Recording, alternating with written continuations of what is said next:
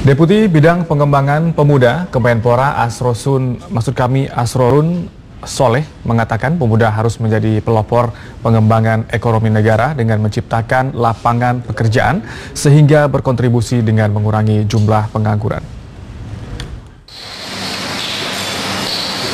Negara yang kuat lahir dari tata kelola pemerintahan dan perekonomian yang kuat.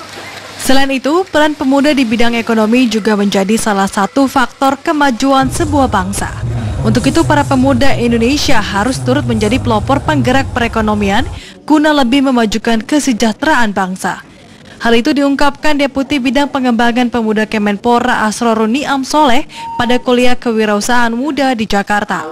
Asrorun Niam Soleh berharap para pemuda dapat bersikap mandiri melalui wirausaha dan dapat menciptakan lapangan kerja baru yang dapat berkontribusi bagi bangsa guna mengurangi jumlah pengangguran.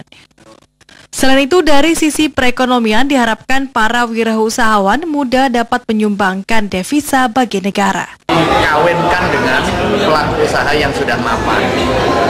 Bahkan nanti di akhir kegiatan ada fasilitasi eh, pembiayaan.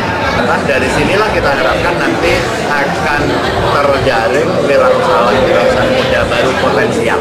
Asrorun Niam Soleh menjelaskan pemuda sebagai pelopor peningkatan ekonomi akan mampu memberikan kontribusi positif bagi bangsa Indonesia secara luas.